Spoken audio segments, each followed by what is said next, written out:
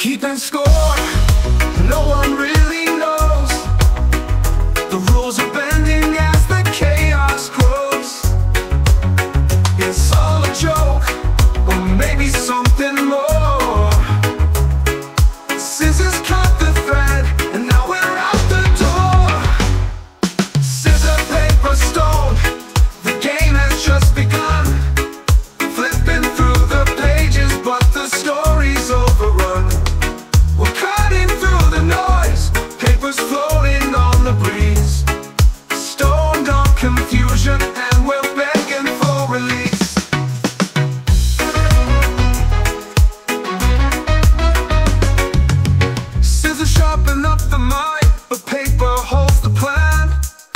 stone just sits and watches like an old forgotten man.